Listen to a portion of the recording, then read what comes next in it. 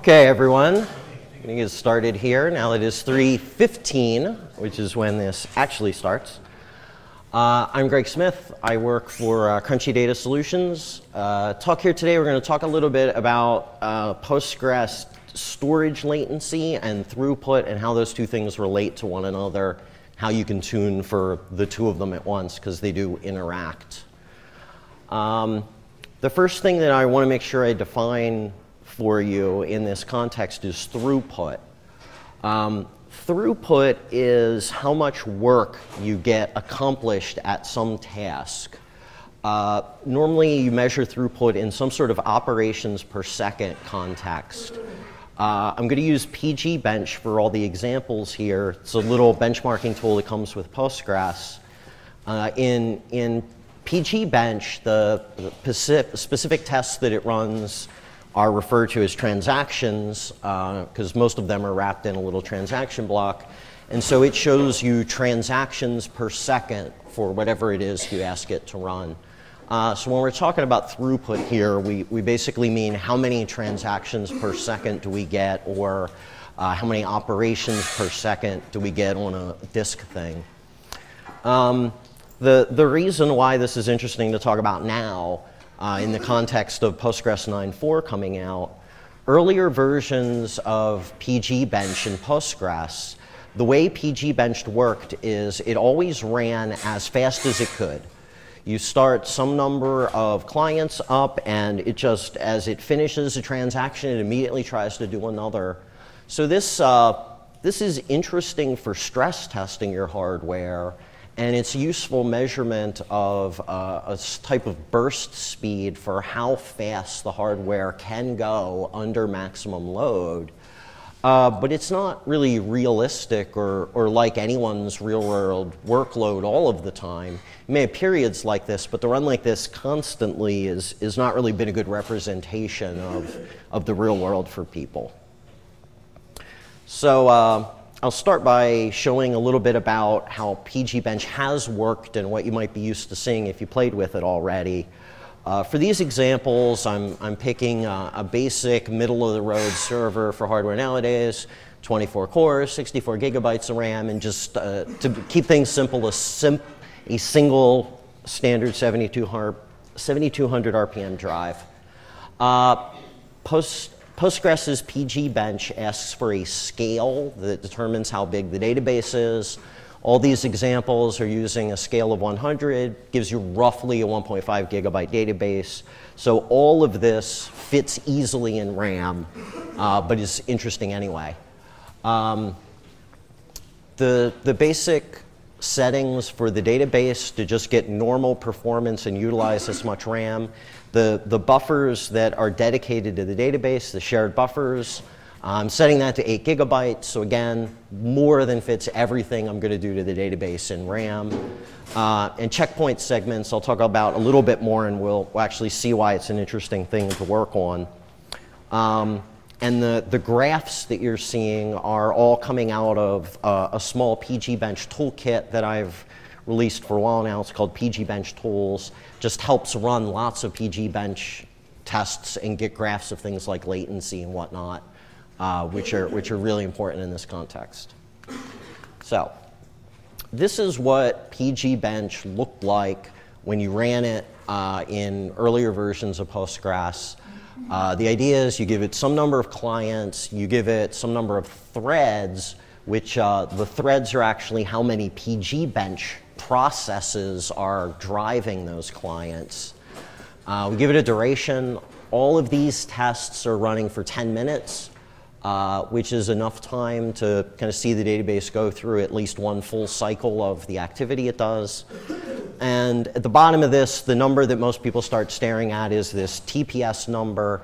So here for this example, Again, this is running flat out as fast as the database can go. It's, it's getting just over 1,700 transactions per second is the throughput on this test.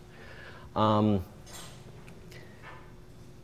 what I did is I took this and I ran it on three different drives to give a measure of what the throughput looks like as a starting point for the discussion.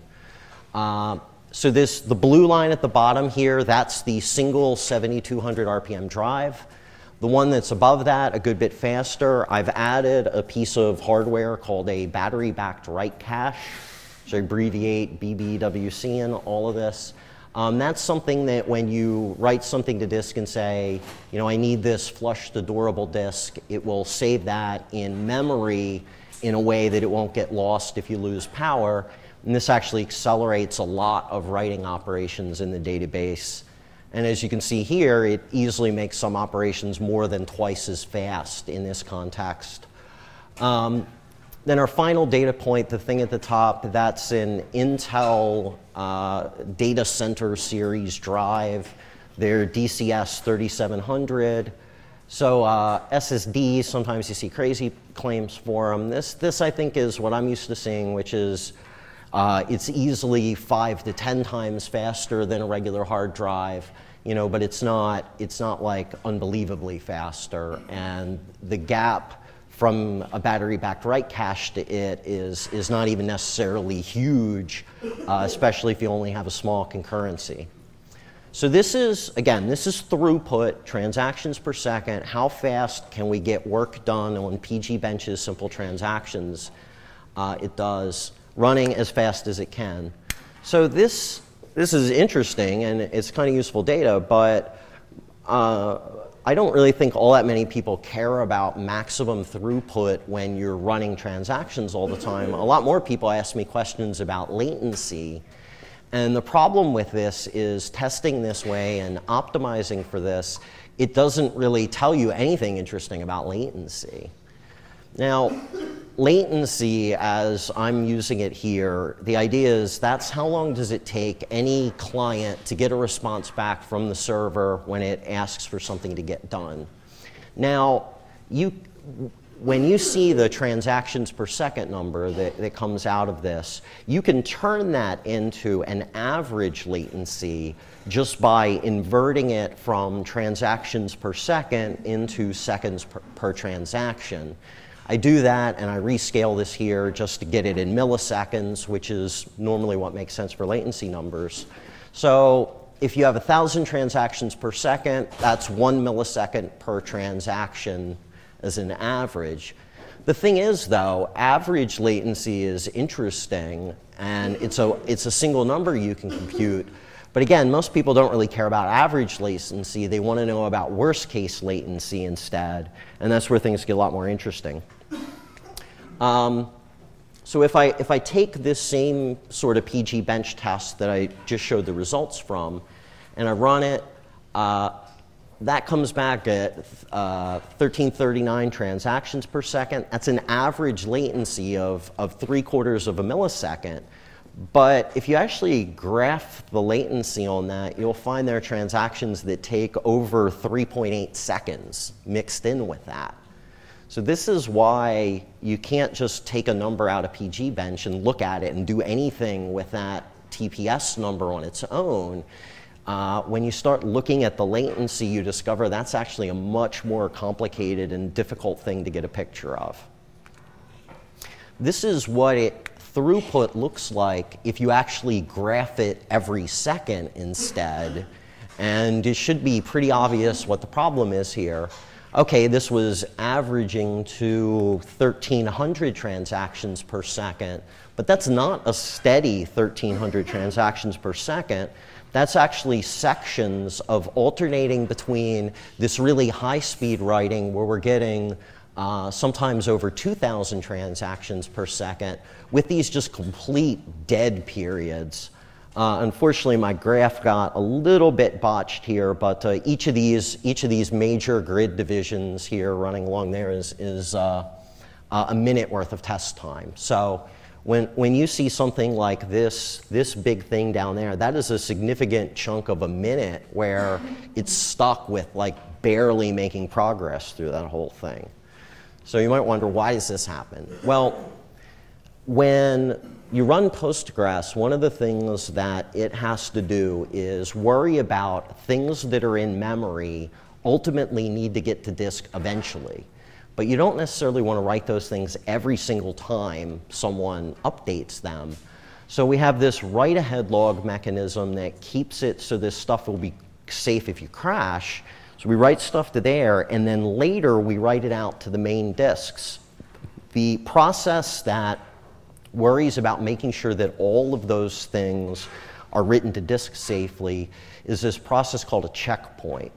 So a checkpoint in the database goes through the, the memory that you've assigned to it, which in this setup that I'm describing was 8 gigabytes, and it's going to scan through all 8 gigabytes, and anything that has been modified since the previous checkpoint gets written out, and then when that's finished, it can say, okay, everything up to this point in time is now written on disk.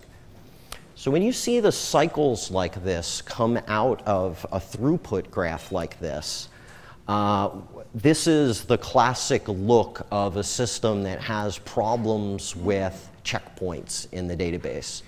So when you're seeing it run really fast at the beginning, this is the time when it is not actually doing any checkpoint work. It is just buffering stuff in memory and it just lets it pile up and keep going and it's not worrying about it yet. So the, the big drops that are showing up uh, the first of them is like right when you see this big drop there, that's basically when it starts writing out. So throughput drops immediately there. And then the big drop is there's, there's two phases to checkpoints in the database. First, it writes everything out to the operating system cache. Then it steps back and says, okay, now I need this to really get flushed to disk. And the flushing to disk part, which is what it calls the sync phase, this is the part that really hammers the hard drives. And when this gets going on, uh, performance tends to plunge. Bruce? Which storage system? This, this one is coming from just the basic single hard drive. Um, so this is, if, if you're wondering how is it that this system ended up with things like a 3.8 second wait for a transaction at some point.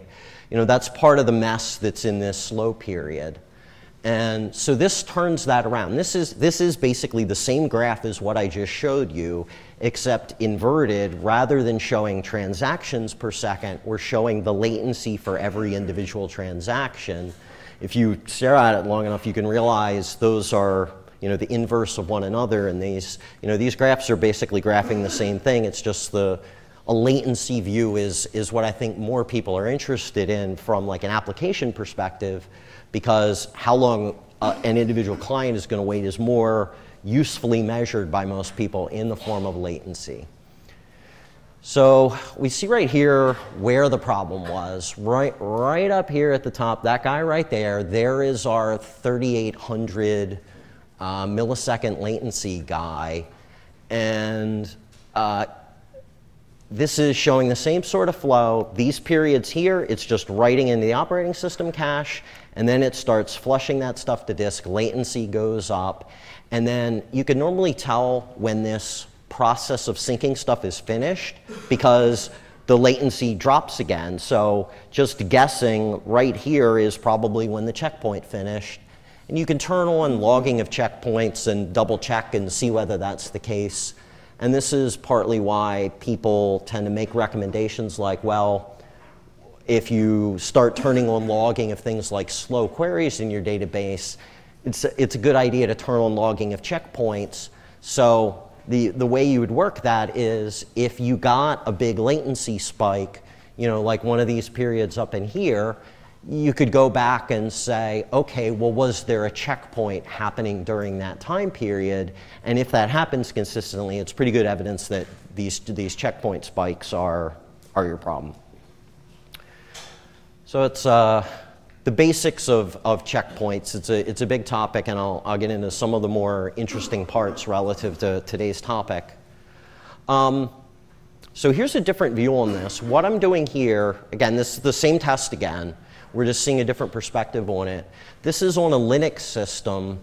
Uh, most operating systems expose this in some way. In Linux, data that you have written to the operating system that it has not written to disk yet is referred to as dirty data.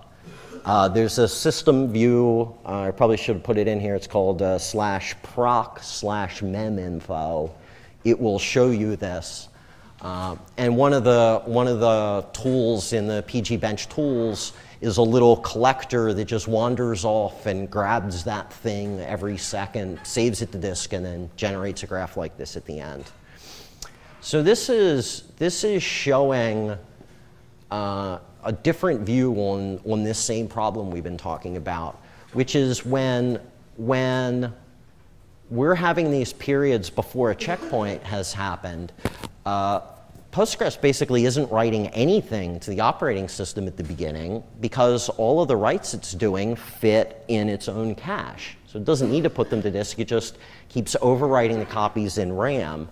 So when, when we see this start to pick up, that's when the checkpoint started.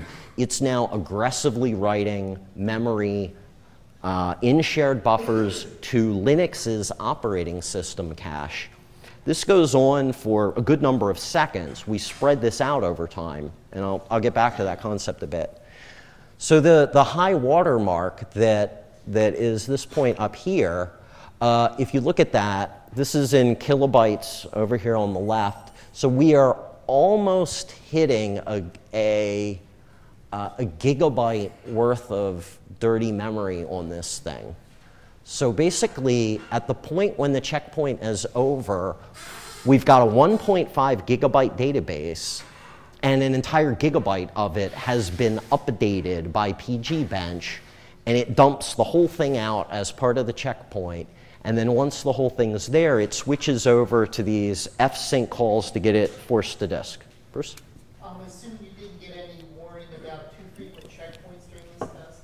Well, this test right here, the checkpoints are showing up uh, one, two, like two and a half minutes apart, which is basically the, it, it's above the point where it would warn you about it by default, but you could tune it to do that way. Um, so, so what we're seeing here is basically one, two, three, and the beginning of a fourth checkpoint are all happening during this 10 minute test run. So we're seeing one roughly every two and a half minutes.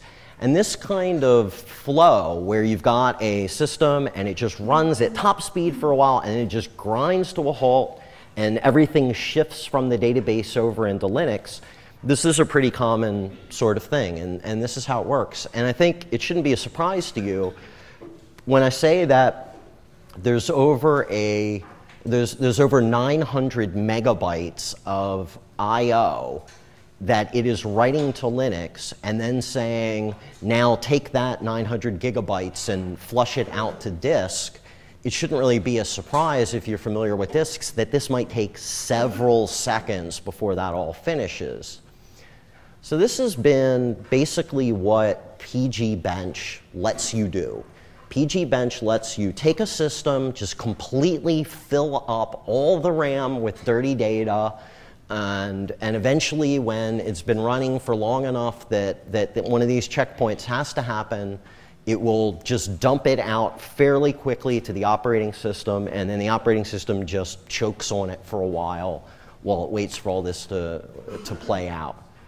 Um, so this is classic checkpointing problems, and this has been visible to some extent. I don't know that a lot of people have ever graphed this dirty memory bit over time, but this makes it really obvious where the stuff is getting stuck at.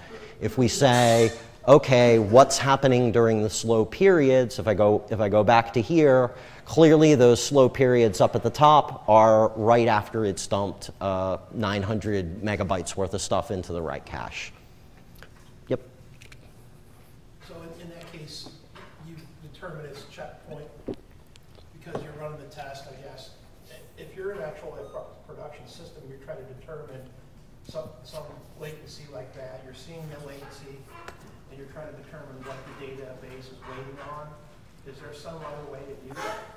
Well, is it, uh, I mean, I'm, I'm coming from a local background, thinking Sure. about the interface. yeah. There's, there's two interfaces to get at this data right now in Postgres. Neither of them are great, but they are available. One is, I mentioned there is a, a log checkpoint parameter that when you set that to on, you will get a text format note saying that the checkpoint started and then another one saying it finished, and it gives some timing information. And after you get some practice reading those, you can sometimes spot the slow ones just from what appears in the timing info. Um, and the other thing is there's a system view that's more like the Oracle wait interface. It's not exactly like that. We're, we're moving towards a, a wait style interface. Um, the system view is named uh, PGStat BG Writer, which is short for background writer. Whenever a checkpoint finishes, it updates some statistics in there. So you can, if you graph that over time, you can tell where the checkpoints happen because the spots where it jumps up are when it finished a checkpoint. So that's. This is latency from checkpoint, though, is. It's, it's just, it's not, it's not really telling you anything about latency. It's just showing you that a checkpoint finished. Unfortunately, you still have the job in Postgres of lining this up with other events to kind of see how they all connect. So I wish I had a better answer, and we're working on a better answer. It's just not ready yet. All right, so this has been where we've been at for a while now. And this just takes these graphs and overlays them again. Okay, pretty clear. The, the waits are coming from the, the end of the checkpoints. It's all spiking up. Um, and basically, I'm not even going to tell you what to do about this in particular. What we're going to talk about is the fact that this is not even really appropriate, though, because we're only seeing this get so bad because we are running this thing flat out as fast as it'll go all the time. And that's not really realistic. Uh, if you do that, all of your caches will fill and then stay filled until each checkpoint is over. Uh, the hardware is never going to completely catch up with everything. It's always going to have stuff there. And here's, the, here's one of the really important points here. If you take this workload and you tune your system, you do things like adjust the checkpoint parameters, you do all this other stuff, if you optimize for this case, you are only optimizing for throughput, for getting lots of transactions per second processed. It is really easy, in fact, likely, that if you do that, you will actually make latency worse because latency and throughput are connected to one another, and I will show you how that works here in a second. So tuning for the traditional PG bench case is not necessarily productive. And if you're doing that because you want latency to get better, step back because you can easily make latency worse. All you're doing if you tune for that is tuning for maximum throughput instead, not the latency of any individual thing. So, we, uh, this is sort of amplifying this behavior a bit.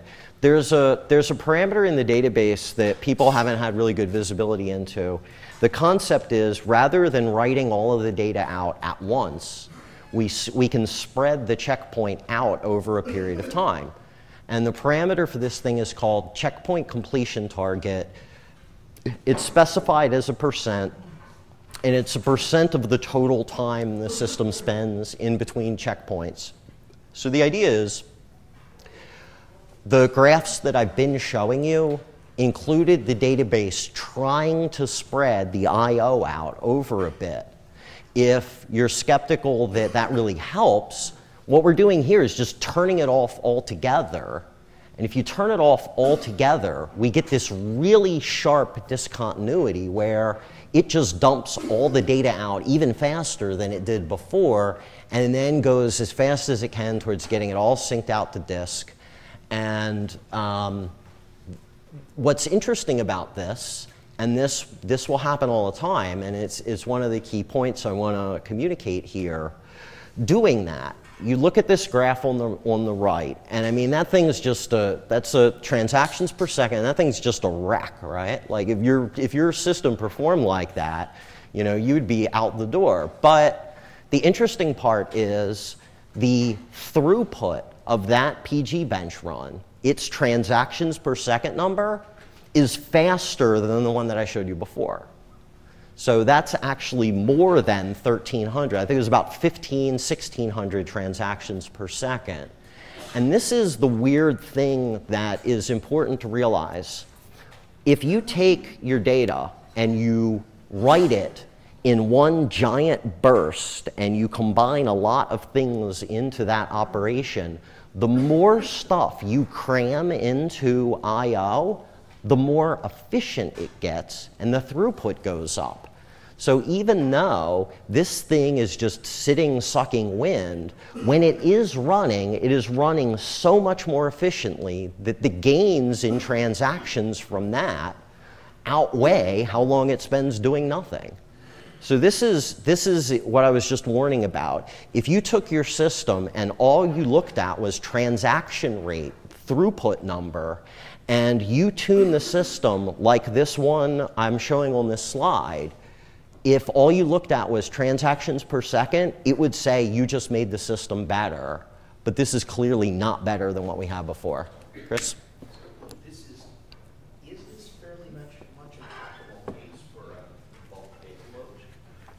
Um, this has some characteristics of a bulk data load, but typically a bulk data load will not be running you know, 24 processes at once and kind of filling everything up like this. You, you can get a parallel bulk data load that will look like this, but I mean, you, you really got to work your data loader to, to beat on it as hard as PG Bench is.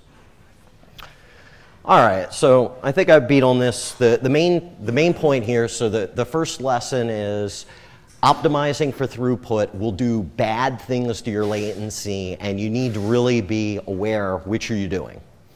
So, what's new?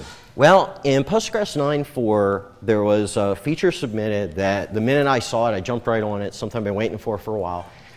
It lets you limit how much work PG Bench does during any period of time. Um, so we, we refer to it as a rate limit, sometimes called a throttle when, when it was originally submitted. The idea is, in this example, I'm running 16 clients for 30 seconds, and I'm limiting it to 50 transactions per second. That's it.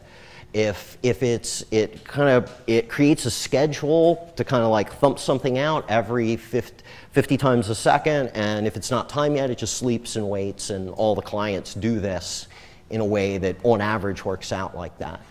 So um, these examples I've switched over a bit. These, these battery-backed write caches I was talking about before, uh, I'm, I'm adding one now to the drive, and this is one that's capable of holding 256 megabytes. And a lot of people think, well, if I put that in there, as long as the checkpoints are writing less than, I don't know, maybe half that might be used for writes. Let's say it's half reads, half writes. Okay, so theoretically I can absorb 128 megabytes of writes without overloading this, right? Well, it doesn't really work out like that um, in the real world, unfortunately. So let's see how it does work out. Um, Checkpoint spreading, I, it's a long topic. I wish I could go on. Well, actually, I, I may be the only one who wishes I could go on even more about it. Um, but uh, by default, we do a 50% spread, and that's probably fine. It's really, it's not a big deal to, to get crazy about that. The more important stuff is we have these two parameters, checkpoint segments and uh, checkpoint timeout.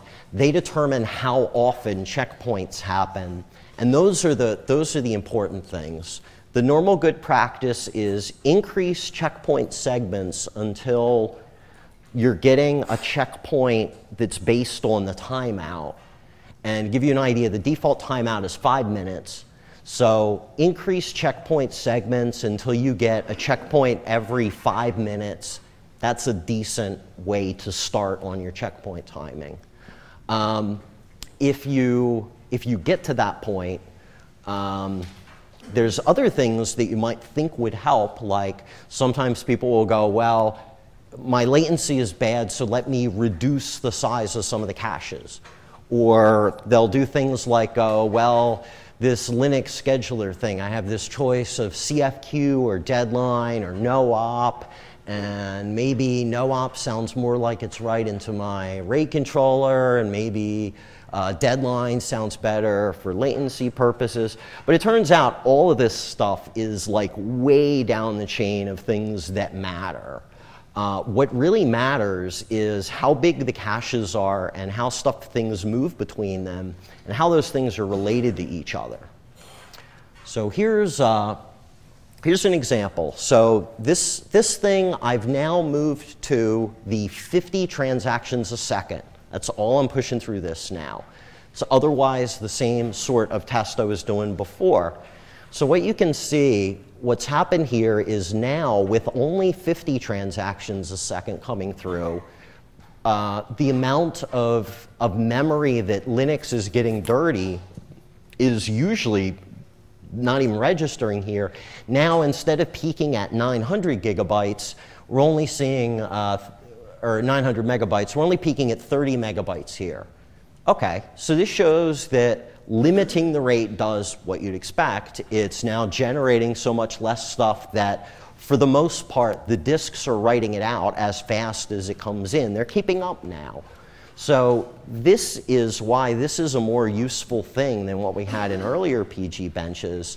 This is now showing us something that the disks can keep up with. So if we can see what the disks can keep up with, and then we make a change, and now the disks can't keep up with it, we've now learned something useful about the capacity of the system, more useful probably than what its maximum throughput is with completely overloaded stuff. Um, so this is, this is why I think it's interesting uh, to use this. I'm starting to do most of my latency tests with uh, basically the smallest uh, transaction per second target that I can pull off that doesn't seem completely trivial. And I'm trying to work through and see, well, how low can I get latency with that almost trivial seeming workload? Um, there's a numeric thing here, though, two, two interesting facts about these, this paragraph. The first is these spikes are only getting to uh, just over 30 megabytes. But if we look at the latency graph on the right, it's still getting hung up for over two and a half seconds.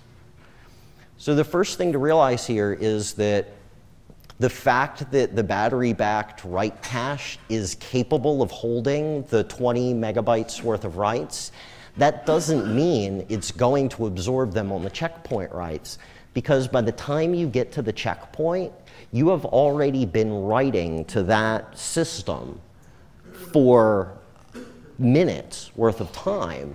And so by the time you get to where a checkpoint happens, it's often the case that like the write caches on your disk array or your RAID controller, those things tend to be filled before you even get to starting a checkpoint. So that's why they don't save you. You can't just look at that number and compare it to the size of the cache on your controller and say, oh, it'll fit or not fit. You have to ask, how filled was it before you got there? And unfortunately, no one really has good visibility in, into that, even that I know of. Uh, I wish when I got RAID cards, there was a nice, easy interface where I could say how much of your cache is currently being used for write data you know, it's, it's not, it's generally a black box. We throw writes into it. We don't really see what happens to them. Um, so that's, that's an interesting thing. And then the other thing is just to step back and go, whoa, I am, I'm only writing 50 transactions per second, but I am, this whole system is backing up for two and a half seconds. Okay. Part of why that's happening, though, is because I specifically turned off checkpoint spreading by tweaking this checkpoint completion target. So this is basically, this is to demonstrate to you that checkpoint spreading does something useful. Uh, even with a battery-backed write cache, all this other stuff, we can still get hung up for, for two and a half seconds here on this simple example. Um, wow, I forgot to, how I did that. Um, yeah, let me try this again. Um, but it's clearly still important that we worry about this to some extent because it still gets stuck. So let me, let me go through some discussions of the things that uh, you have to worry about here. So one thing you might think for how do we get rid of this two and a half second gap is, well, maybe we could change how big the write cache is. You know, the Linux write cache is, there's parameters with names like dirty background ratio. A lot of people get to this point and say, oh, let me just shrink that, it'll be fine. That doesn't actually work out. I'll show you what happens in a sec. Um, the problem is if you decrease the size of a cache, it makes it less efficient. The bigger your cache is, the, the more room it has to make things more efficient. So when you reduce the size of a cache, that doesn't necessarily make things faster because small caches also have slower throughput. So there's a trade-off here. You might think I use a small cache, I get I have less stuff building up, I'll get lower latency, but if you actually hurt throughput in the process, it can end up being slower than where you started at. Um, why is this? There's actually a couple of mechanisms. This is a whole other topic altogether, but just to give a, a brief flavor of them, when you do I.O. in big chunks, it does this thing called elevator sorting, where it tries to take things that are on the same area disk and put them all together. Uh, it does this thing called write combining, like two things that are writing to adjacent chunks. It'll just do them together as one operation. Uh, also, if you write something and then you, you write it again a minute later, or if you write something and then you go read it again, doesn't really have to read it, just grabs it from the cache again. Basically, all of these things, the bigger your cache is, I, I sometimes call this a caching horizon. The idea is how far can the cache see? How much visibility does it have into what's coming up? As that number goes up, it actually makes the throughput go up as well. So this is really important.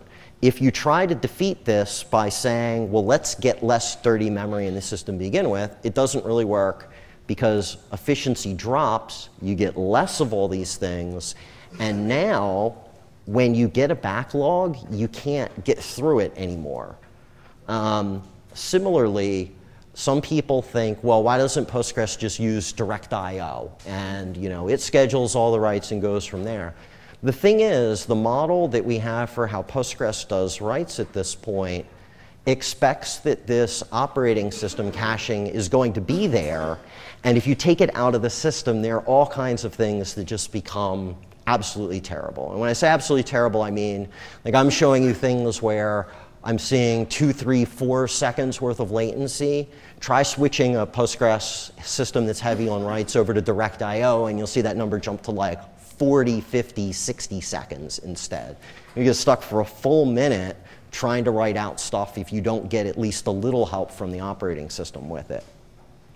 So, um, so what I wanted to do to, to, to kind of give a, a reasonable intro to what this feels like in the real world for you is I wanted to give some examples of how these storage latencies work out. So the idea is I, I picked a low transaction rate, this 50 transactions a second.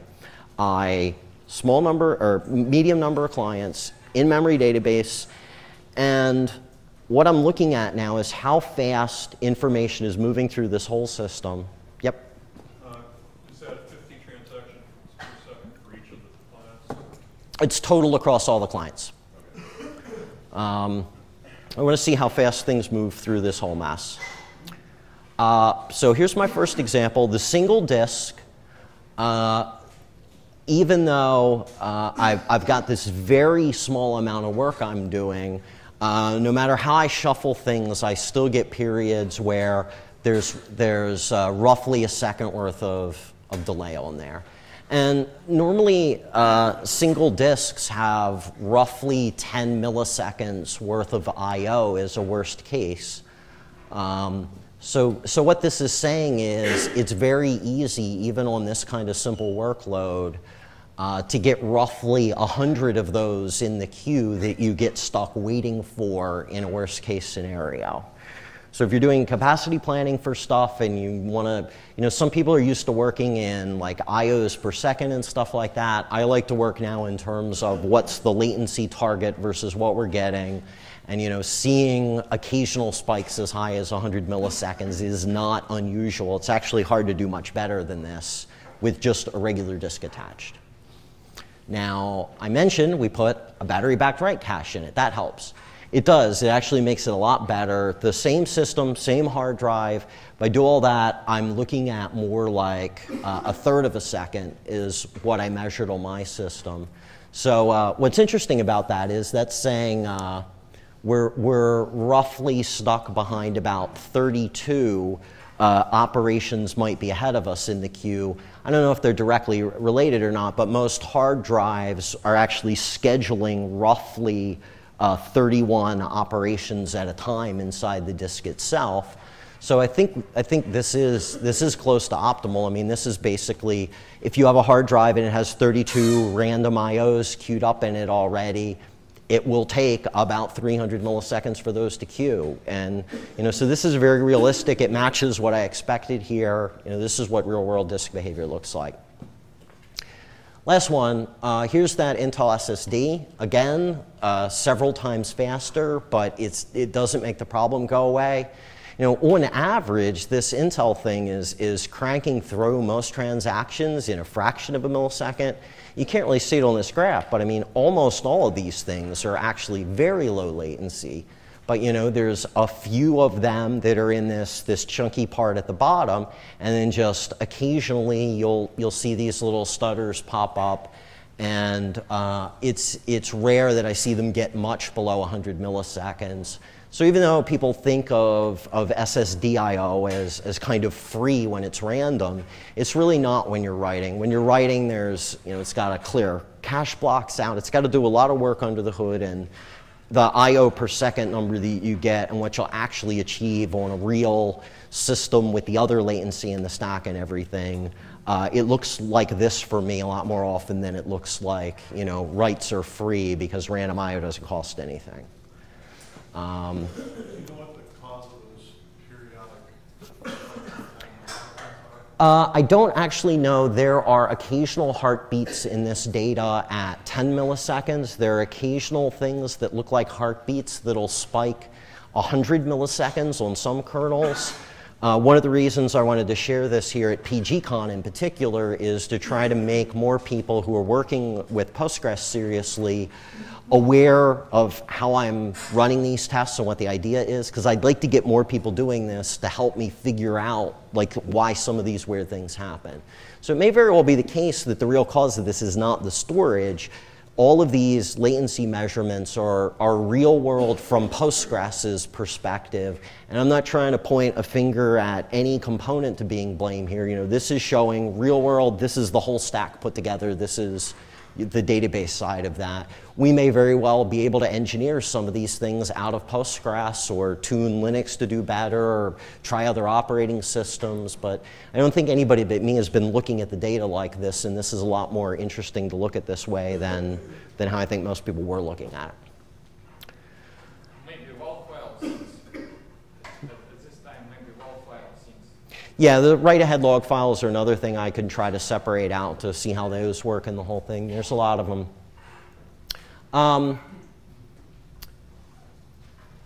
this is kind of, I'm missing a graph. I'm confused now. There's one more graph that kind of pulled all this together. Uh. Uh, yeah. Did you mention what WAL level you're using for this?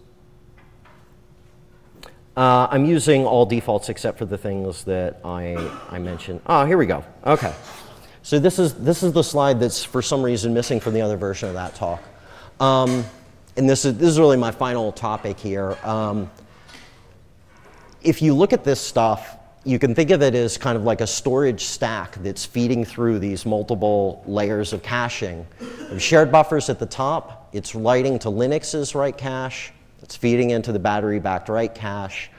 Um, the, thing that, the thing that is worth highlighting is if I try to make this thing smaller, people think that making that smaller will then make it drain faster.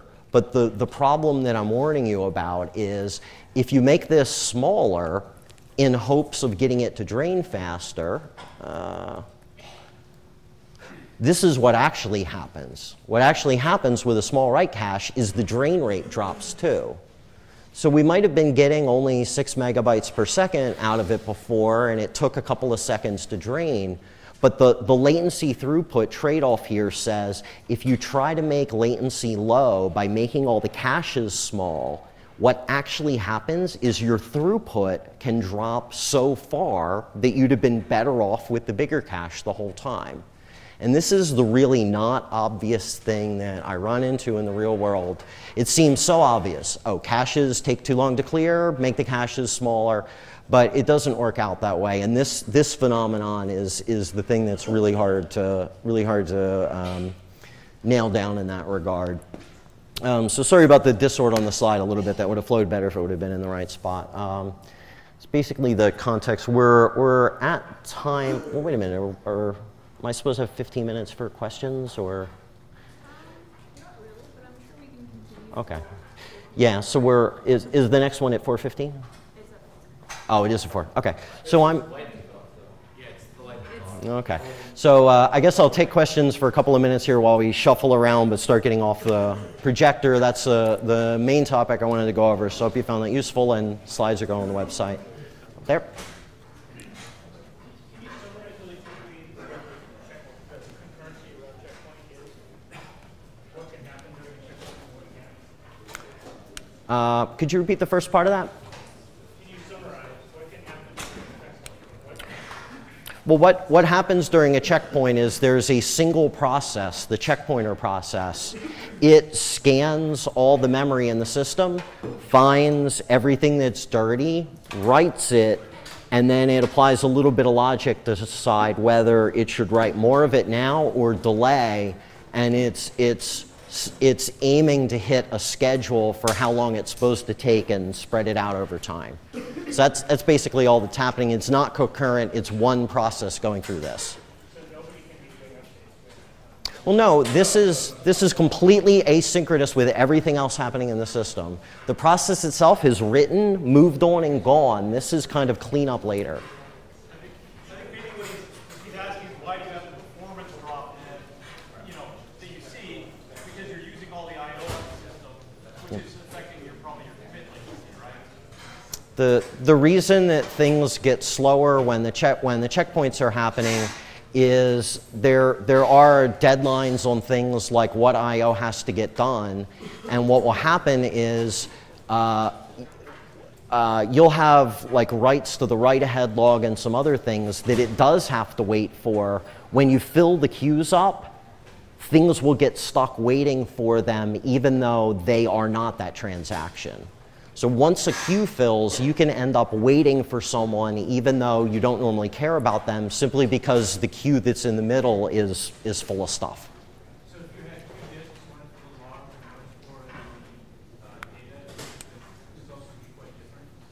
It'd be different, but it doesn't actually change all that much because the write ahead log traffic is, uh, is not what's driving this. What's driving the performance is normally random I.O. to the database, not the sequential I.O. to the write ahead log. All right. I think I, yeah. I just, the suggestion is, uh, doing this kind of benchmarking, I find, to eliminate all things, sorry, all other things, use like a random disk and run the exact same test. And then you get to see if you have any variance, like of those hotspots without like easily IO. Yeah. Then it helps you pin down, you know, where in the system are getting those, those spikes. Yeah, we can, we can try to isolate out which of these are like CPU-oriented things and which are disks. Uh, I, I suspect a lot of these are actually kernel-level things when, because we don't have anything in Postgres that runs at an interval like that. I mean, we have things that run in intervals, but not that match the heartbeat of what's showing up. Yeah. Okay, I think I'm done. I'll, I'll take more questions here. Thank you for your time, and I hope you found this useful.